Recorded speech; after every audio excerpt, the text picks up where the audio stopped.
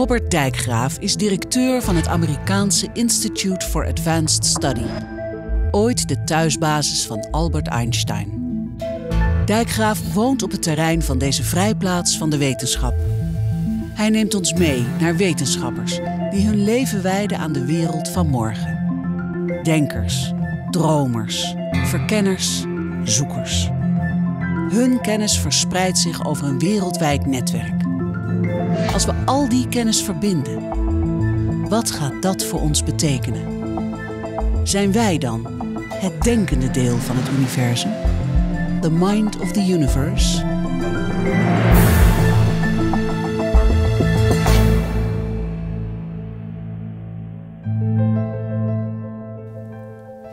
Spelen is niet alleen voor kinderen.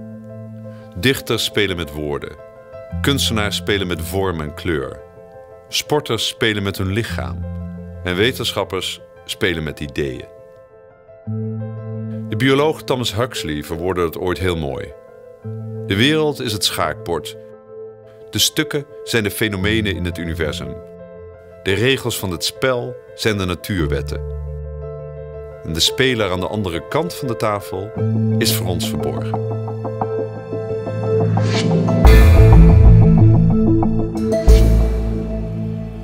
De natuur, de cultuur, de hele samenleving zit vol met spelregels.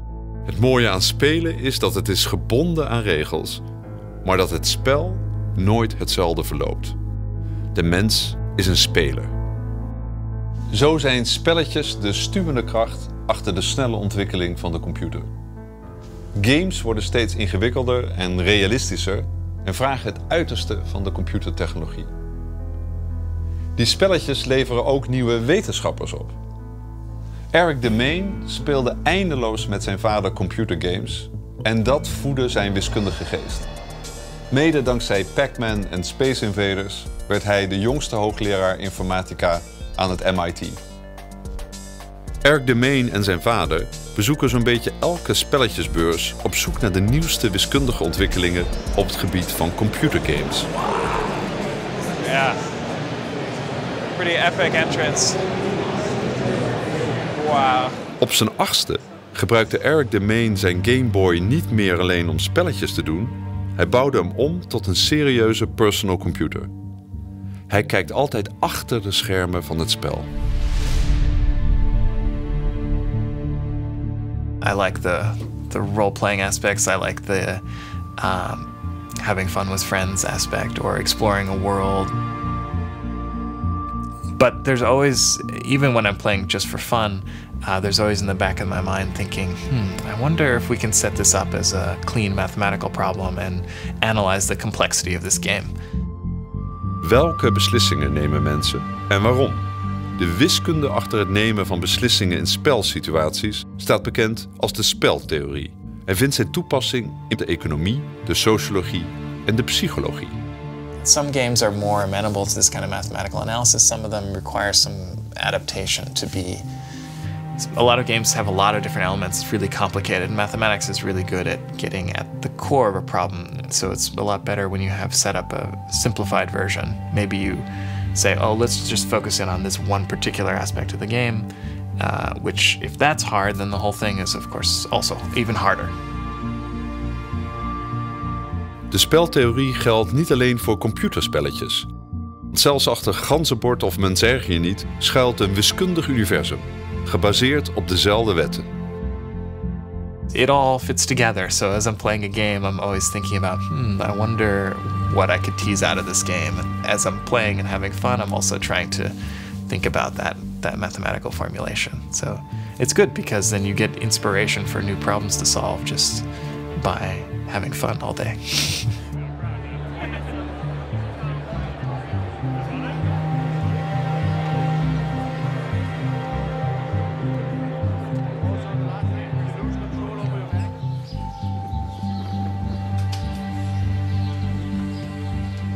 I guess my father became a single parent when I was two years old. And so we've been close for a long time, especially from uh, when I was ages 7 to 11, we started traveling together. And that was a really fun and bonding experience for us growing up. And also because we were traveling a lot, we tried out homeschool. And homeschool turned out to work really well for us. Um, uh, I would spend only like an hour a day doing sort of the breadth of regular school. And so then I'd have many other hours during the day to explore things. And very quickly for me, exploring was uh, computer programming. And so I was sort of voraciously learning about computer programming. And then when school got out, I would go and play with kids and things like that. Vader Demaine kreeg het voor elkaar om zijn zoon al op 12-jarige leeftijd aan de universiteit te laten studeren. Spelenderwijs werd Erik daar professor.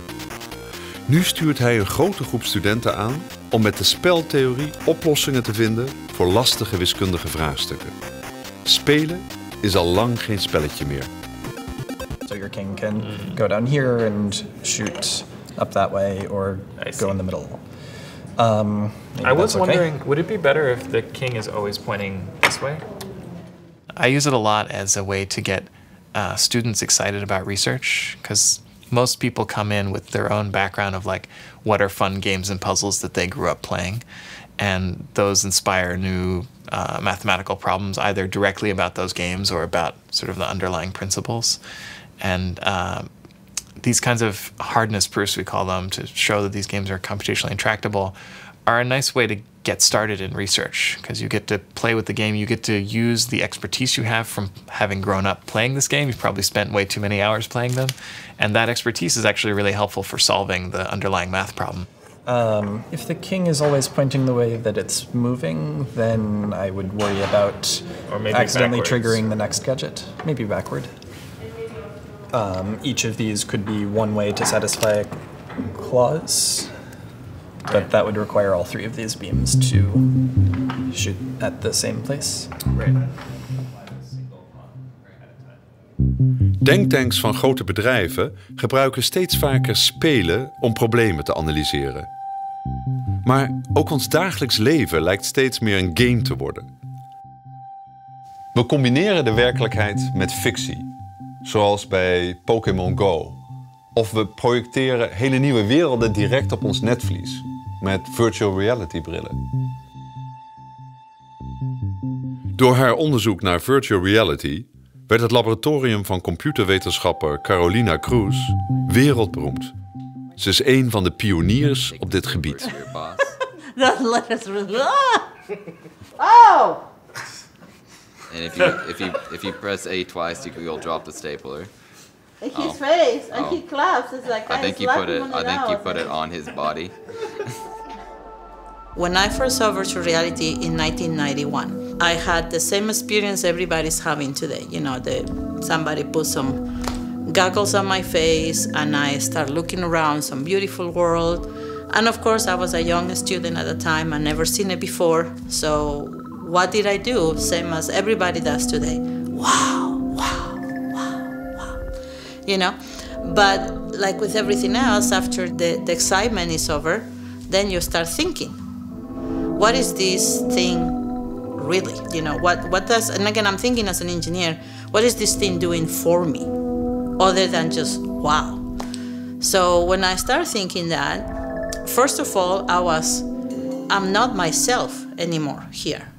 Because when i'm in, in right here in this room with you i see my hands i see my legs i see a little bit of my hair in here when I put goggles, I lost all that immediately.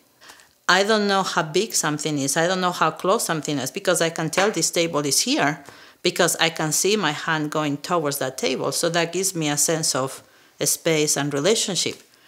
In the virtual world, I'm trying to grab something, but I don't see anything. At the most, I see some floating hand that is not connected to my body and is not even my own hand because most of the virtual environments they give you a male hand, you know. And I'm a woman, I have my little red nails and all that, so it's not even my hand.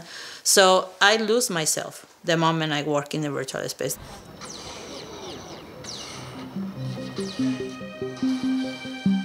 In het lab van Cruz worden de grenzen van virtual reality opgezocht. Ook haar man is daar onderzoeker. En midden in deze virtuele wereld groeit ook haar zoontje Alexander op. Um, he does the same thing that my mom does, and they both do virtual reality. They both do it. What do they do?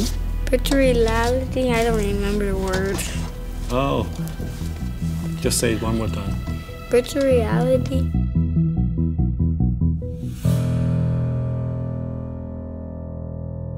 What makes virtual reality to me an exciting science is that there are no physical rules limiting what we can do.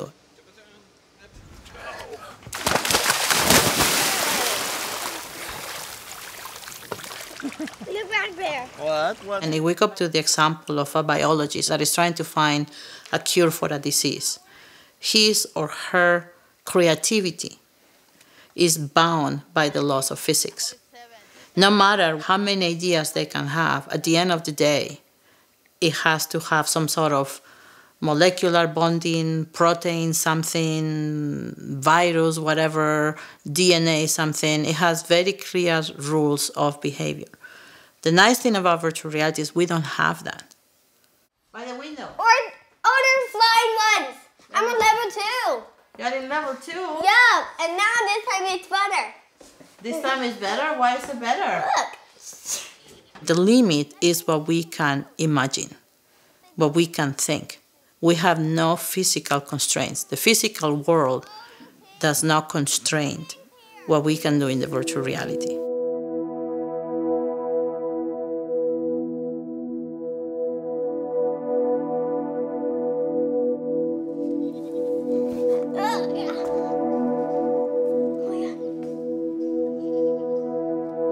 I have a six year old son, and to me, sometimes watching him in virtual reality opens my own mind sometimes, you know, because his mind is not constrained as my mind is. Because we have, right now, I think we have four generations concurrently living as, as it relates not only to virtual reality but to technology in general.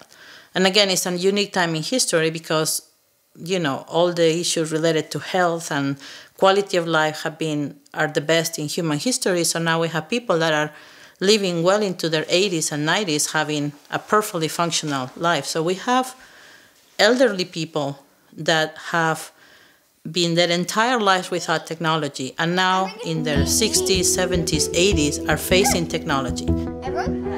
So explain it to Emilio so Emilio can play this level. Emilio. We have to shoot the scorpions. We have to do it. Pero esto, pero esto está muy pequeño para mí. Emilio. Emilio. It, let me see if they're let me see if they're coming your way. So when you put those people in virtual reality, is is my best way to describe it is just adorable. It's just adorable because they just like they just sit there and they're like oh oh, and they just um, they just don't they cannot even comprehend what it is that they're looking at. You know, they're very afraid of moving. They just kind of look around and they're like, "Thank you, dear," but that's it. Emilio, Diana. Yo no nada. Emilio, you're behind. Ah, Let me see. pero ¿dónde me llevan? ¿Otra vez para allá? Espera, espera, espera. No, a mí no me sale nada. ¿eh? He doesn't know anything. Veo, veo el puntito ese. I think in our case, we're very fortunate because it's the whole family. because my husband is part of the the same research that I do, you know, and now our son pretty much lives with us in the in the lab whenever he's not in school, you know. So so we have an interesting perspective on on doing this, and and in some cases, like I say, he. Our little son sometimes opens our minds just because we see his frustrations, because he expects some things that are happening, but we didn't even think about them. Voor Alexander is de virtuele wereld geen spel, maar een werkelijkheid. En zonder dat we het doorhebben, zijn wij zelf ook spelers in een dagelijks spel. De economie. Het was de wiskundige John van Neumann die in 1944 ons economisch systeem als een spel beschreef. Een venijnig spel, waarin de kansen niet voor iedereen gelijk zijn. De gedragseconoom John List wordt gezien als een goede kandidaat voor de Nobelprijs. Hij probeert de economische wetenschap realistischer te maken door ook psychologische invloeden mee te nemen. There's a famous quote that millions of people saw apples fall off trees, but Newton asked why. And I think anytime you're willing to take the bold step and ask why does something happen, you begin to use your imagination and then you can use science to explore the whys behind our big sci scientific questions that we face today. Waarom handelen we zoals we handelen? En hoe wordt ons handelen beïnvloed? Als gedragseconoom observeert John List het spel wereldwijd. Hij probeert de spelers die regels aan te reiken waarmee ze allemaal van het spel kunnen profiteren. Make yourself champions, guys. Make yourself champions. And up, right, right away up. Hey, hey, hey, hey. List experimenteert door sommige spelregels aan te passen en kijkt dan hoe het gedrag van mensen, of eigenlijk de spelers, verandert. Markets have always fascinated me. Things like how are prices determined in markets? You know, when I was a little kid, we would pay a quarter for a pack of baseball cards. And I wondered, why is it a quarter? Why isn't it 50 cents? Why isn't it a dime? And those types of questions always uh, piqued my curiosity in thinking about how do markets not only price goods, but how do they allocate goods and services to people? These are a few of the sports cards that I was trading. These are from 1981. And some of these cards are valued, these are probably smaller valued cards, maybe 25 to $50. This card is worth $20,000. This is the best card known to mankind. It's uh, called a Mint 9. So this is one of my favorite cards from when I was a kid. He was one of my boyhood heroes. And I picked this up through buying, selling, and trading in the market. This is how I learned to think through markets, to think through how we can change markets to see how people respond. And it ends up that these things are worth a lot of money now. So, what will I do with these? I hope my kids use these to learn about economics themselves. My kids have started to collect as well. I don't give them these cards not until I'm uh, I pass to the next life. But um, these are a glimpse of my boyhood. These are how I learned to be a scientist. As I grew older through high school and when I was in college, I began to be a, a, dealer in these markets. So, what a dealer does is a dealer brings his or her sports cards to the market and then sells them or trades them to people. And what you could readily see is that not all people were, were getting the same deal. Um, some people would pay a lot more money than another person. And even in those types of markets, you could see the inequities that were arising. And I always thought, what are the factors that, that are causing those inequities in markets, and what can we do within a free market system to lessen those inequities or make markets more fair? My field experiments range all the way from experiments in firms like Uber to Citibank to Amazon.com. A lot of charities want to raise more money. I help them using field experiments that leverage behavioral economics. I go to schools to help young kids. I go to schools to help teachers.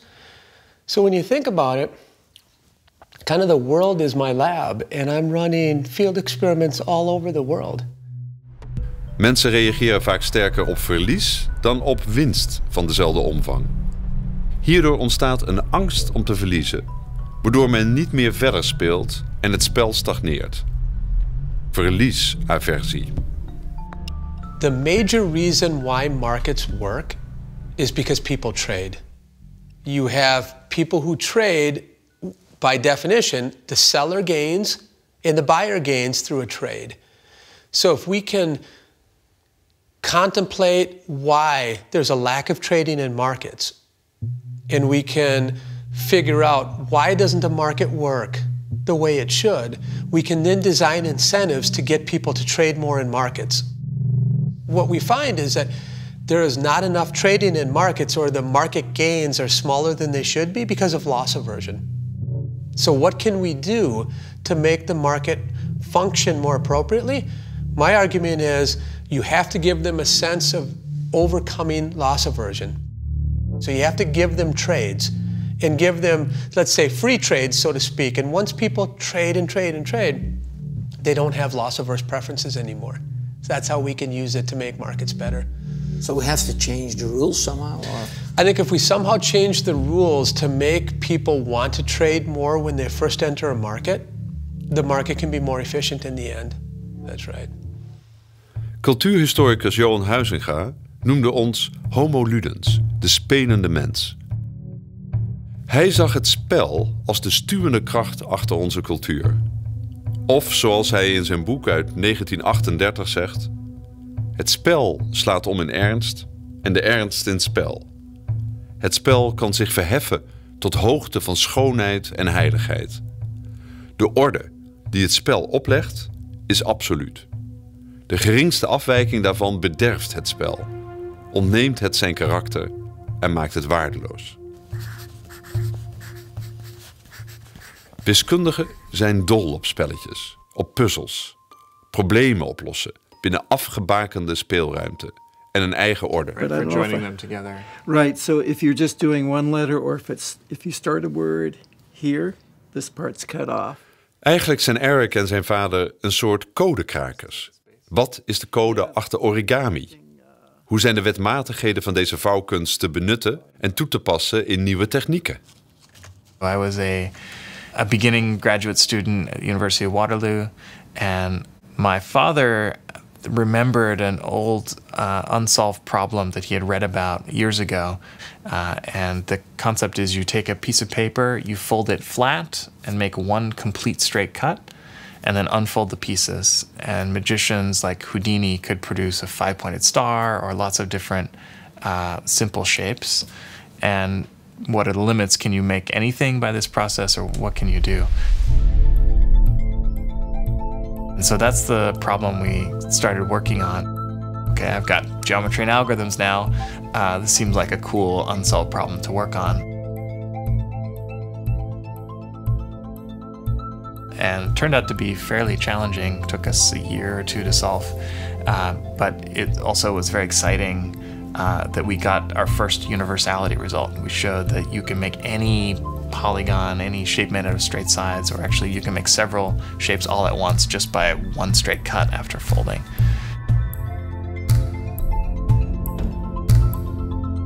You know, we're studying the mathematics of a magic trick. How could that be useful for anything? Though it turned out to be unexpectedly.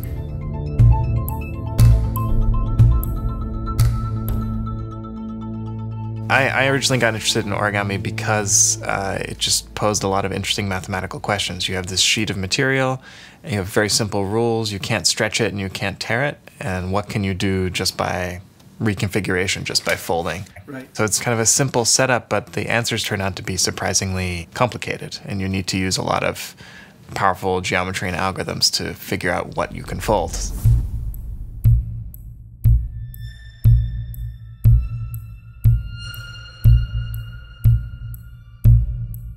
You can really fold anything and finding more interesting ways to make structures that fold between different shapes.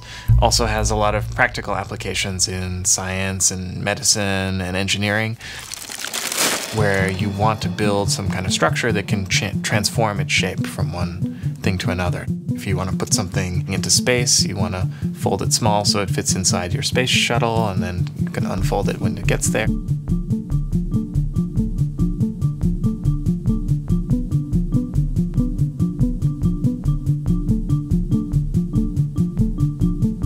One area is um, protein folding. So every living thing that we know of in this world is built up out of lots of little proteins kind of making life happen. And proteins are essentially one dimensional pieces of paper that coil up into complicated 3D structures, and that 3D structure kind of determines how it interacts with other proteins and what, what its function is. And we don't really understand that process of, of folding kind of a one dimensional strip of paper into uh, these, these 3D structures, how nature does it, how we could do it. You could imagine some disease comes along, new disease, you could design a protein to fight specifically that disease. Uh, but we don't know how to design proteins that fold the way we want to. And so we're trying to understand how proteins fold in order to sort of just understand how biology is functioning, but also so that we can kind of control it in useful ways and kill viruses and things like that. Basic research tends to become useful eventually uh, even though you may not see the applications ahead of time. In mathematics, there are just a lot of basic questions that are very curious and you want to know the answer to. And if they're basic enough, very simple setup like paper folding, very few rules about what's what you're allowed to do, and yet it's very complicated to understand. But there's many different ways you might formulate what you want to fold sort of the classic uh, origami design problem is is shape design. I say I give you a three-dimensional shape. I want to fold that thing. Uh, what's a good way to fold that thing? And we're still finding good algorithms for that. We have some general procedures that work, but they may not be so efficient. So this one, I can't tell. It looks like it might even be a whole. There's room for a whole pixel there. So like some of them are pretty hard to do an N. Um, so we especially like to prove what we call universality results, where we say in this kind of origami design or folding design, you can make anything you want, and we give you a computer algorithm to do that. And so you can come in with your specifications like, oh, I'd like something that looks like this, and, it, and the algorithm will give you how to fold exactly that thing. So then that comes, whoa. Yeah, this is scary to unfold. Yeah, this one has a lot of folds too, too. Mm -hmm. To do that. Al spelend verkennen we de mogelijkheden van de werkelijkheid binnen de orde van de spelregels. Als een kind in de beschermde omgeving van de zandbak. Zolang je daar binnen blijft, mag je doen wat je wilt. De orde van de zandbak. Maar virtual reality gaat nog veel verder. Het maakt nieuwe werelden. Je kunt spelen met de tijd. Of je kunt je verplaatsen in andere culturen. Je kunt zelfs je eigen persoon ontvluchten en een andere identiteit aannemen.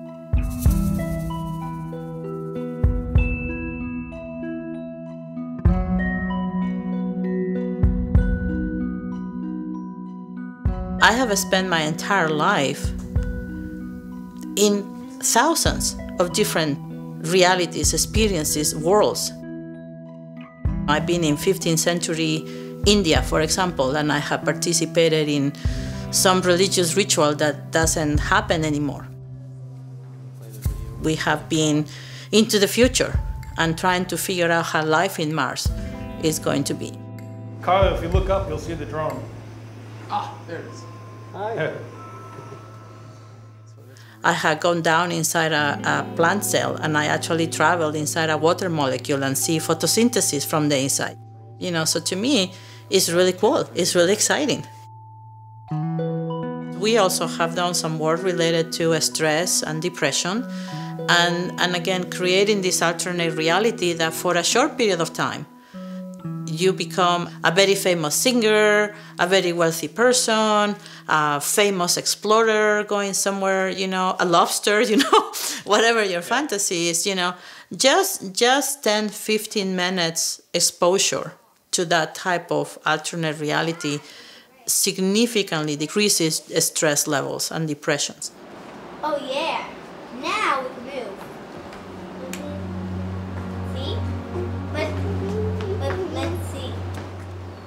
For many of the worlds that we do, they actually become very real to the people that experience those worlds. I think it's going to be interesting to see where someone's unrestricted mind his mind is somewhere else that I cannot go there. I'm too constrained with my own knowledge of the technology to, to let me go there, where he doesn't care. You know, we just got some recent equipment in our laboratory, and he mastered that equipment before any of our graduate students. And watching him using that particular equipment, it was absolutely amazing. I mean, he doesn't even know how to read. Het begin van een toekomst die we ons nu nog niet kunnen voorstellen. Wat doet het met je als je van jongs af aan kunt rondkijken in een molecuul? Of kunt reizen door een melkwegstelsel? Net zo vanzelfsprekend als een wandeling in een bos. All right, so I want to show you the last things that we've done. Okay. So you can um, take a look and see what you think, because that's what we are right now. So one of the main things we've done, that, and I think you haven't seen this yet, is we have improved the visual quality. So Well, now this you see. wonderful. You know, I remember my my first cadaver, and had I been able to do this with a cadaver, it would have been so much more enriched learning experience. You know, uh, they're messy and they're smelly. In fact, when you work on a cadaver that has been infused with formaldehyde, the, the clothing you work with, you, you got to leave it in, in a locker that's, that's going to be aired out later on because you can't go walking around the city with those clothing. So this eliminates that. This is going to change healthcare education for all of us. There's no doubt that doesn't want to stay, so let's go like this.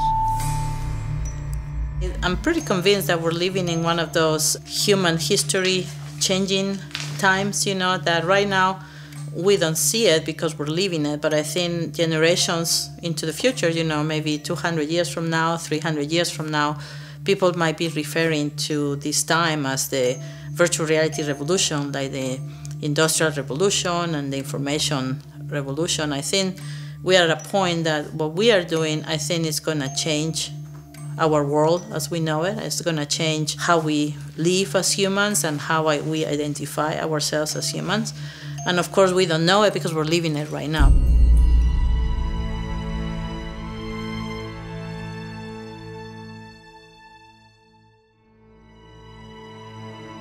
Nieuwe werkelijkheden onderzoeken. Dat is ook wat John List doet. Het spel van de wereldeconomie hapert. Regelmatig worden de regels overtreden en er wordt zelfs vals gespeeld. Ons eigen gedrag is onderdeel van de spelregels en dat maakt het zo lastig. De psychologie van de mens verstoort de orde van de economie. I wanted to be an active participant in a market and go and generate my own data and generate my own data for a reason to test economic theory and then to change the world about a specific policy. Why do people discriminate? Why do people give to charitable causes? Why do inner city schools continue to fail? These big scientific and social questions are what I want to go after. And I want to change the rules of the game and collect my own data and generate my own data to answer these questions. John List doet zijn onderzoek gewoon op straat. En vooral in die typische achterstandswijken die in elke stad te vinden zijn. Hij neemt ons mee naar Chicago Heights. Daar wonen veel verliezers van het economische spel. Chicago Heights is about 45% African American and 45% Hispanic. But this area down here is nearly a, a completely African American area. The city is very divided and segregated along racial lines. But about 95% of kids in Chicago Heights are on food stamps. The economics starts with jobs. It starts with a community that has lost a massive amount of jobs because its manufacturing base has declined. In the moment that the jobs leave, you end up having a, an economic market or a community that, that is desperate. I don't think we've wasted this much human potential since the Dark Ages. because kids are not receiving proper education, that's a crime. That's a real crime. And it's because we have not been serious about using field experiments in the classroom to learn about what works and why. Our experiments with students is the morning of the test, when they enter the room where they take the test, we announce to them, here's $20. If you perform better than you did on your last test, you can keep the $20. If you don't perform better, we will take the $20 away.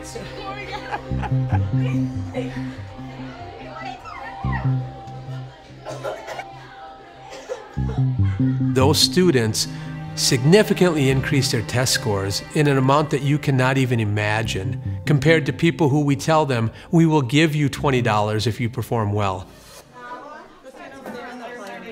Amaria and Chucky.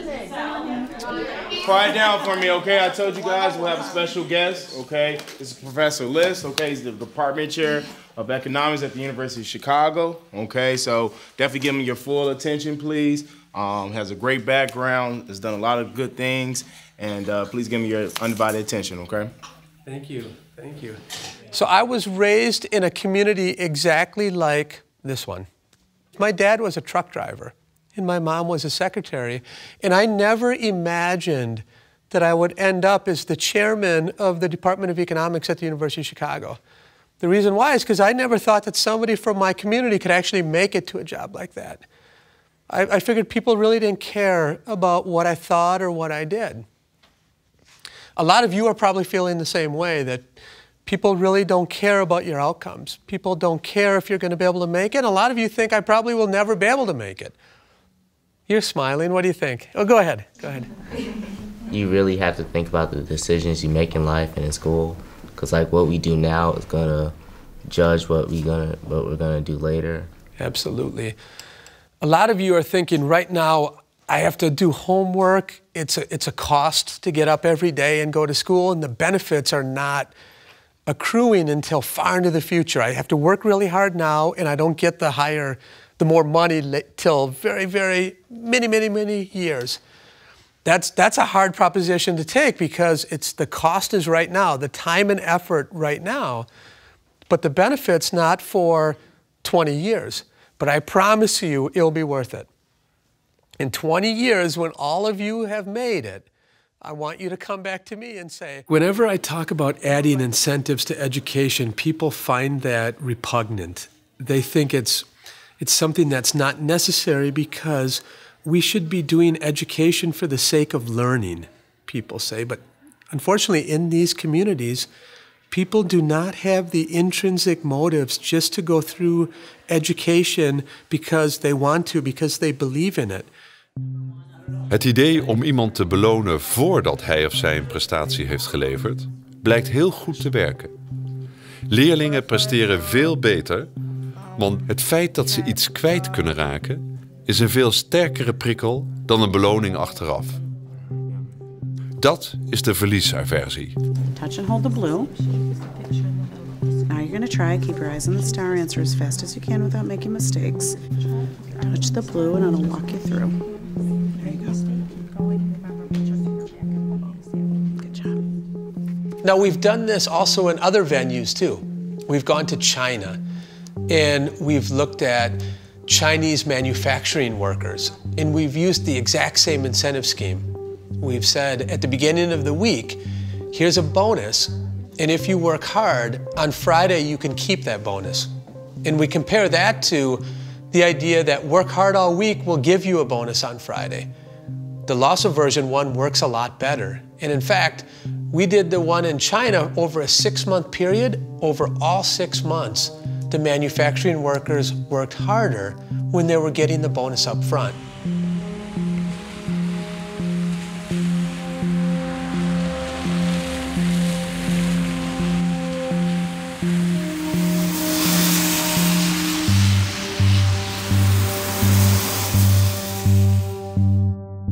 Now, the economic game is illogically unfair, and we are leaving human potential on the sidelines because everyone's not given a fair chance. So, what I'm talking about is setting up the economic incentives and setting up the economic game so everyone has a chance to win. Who knows, one of those kids right there could be the next US president if they're given a chance. De economie is een chaotisch spel, moeilijk te doorgronden. We zijn pionnen in ons eigen spel. En alles wat ons mens maakt, maakt het onvoorspelbaar. Hi, everybody.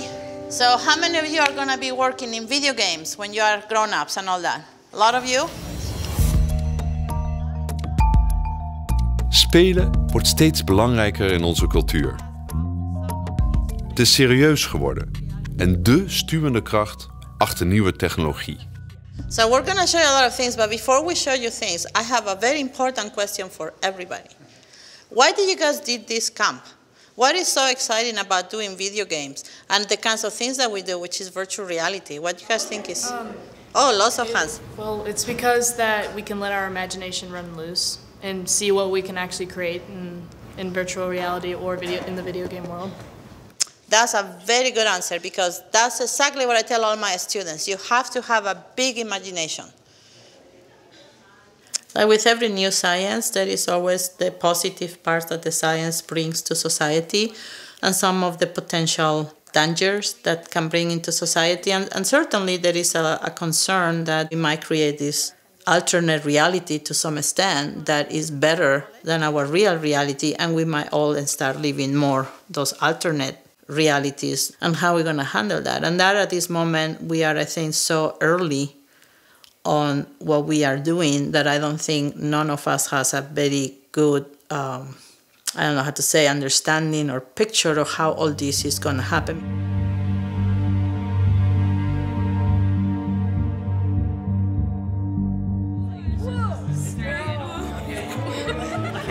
The shark just flew by. Yeah, there's a kidney with an issue. Uh-oh. That one definitely has an issue. So out of all the areas that we've checked, this one looks like it needs help. So doctor, are you ready to perform? Uh, how do I perform? Oh, you actually do things in here? Right now, we're just starting. Our own knowledge today constrains sometimes what we can think. And the new generations, that, that knowledge is a matter of fact. It's not a discovery anymore. Then they can take it to the next level, same as we did from the previous generations from us. Empty space.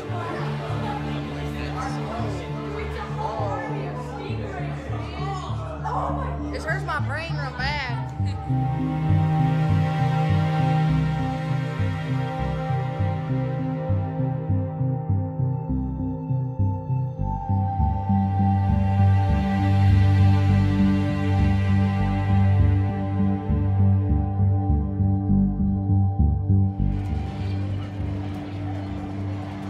De natuurkunde probeert de spelregels van het universum te ontdekken.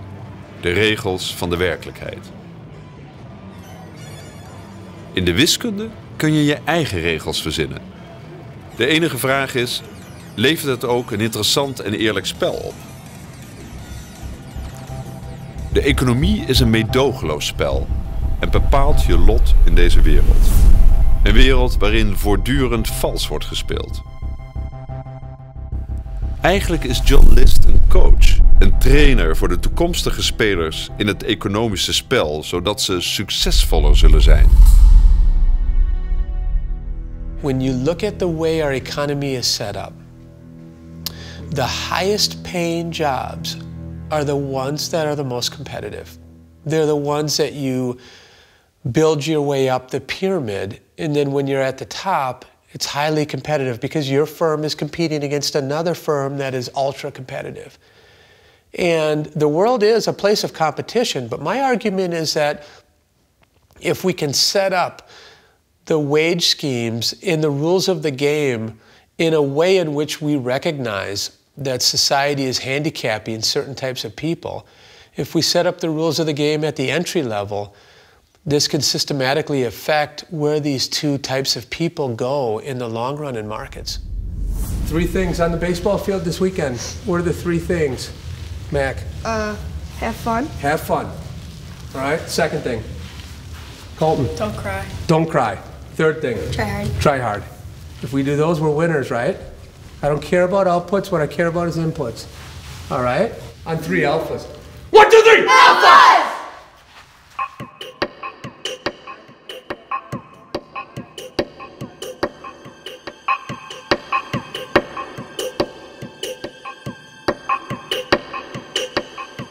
Every generation is a new mindset.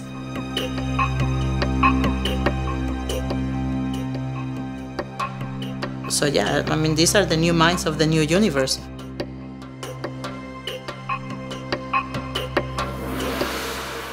Because the new universe is not going to be only the universe as we know it today with the planets and the galaxies and all the beautiful formations is a completely limitless universe because it's to come out of our imagination.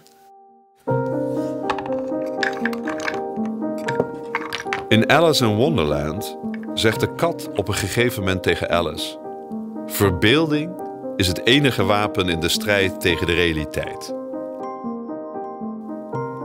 Maar wat als onze verbeelding realiteit wordt? Als we spelenderwijs de oude werkelijkheid veranderen in een nieuwe. Een spel zonder grenzen. Als we leven in een universum met oneindig veel werkelijkheden. Ook dat is the mind of the universe. Iedereen kan de complete interviews van The Mind of the Universe downloaden via de website. Ontdek unieke fragmenten die je niet zag in deze uitzending. Of creëer je eigen programma. I hope you enjoyed this episode. If so, you can find the next one on this website. If you're interested in other recommended series, please check out our channel. If you want to stay informed about new projects and series, please subscribe to our channel.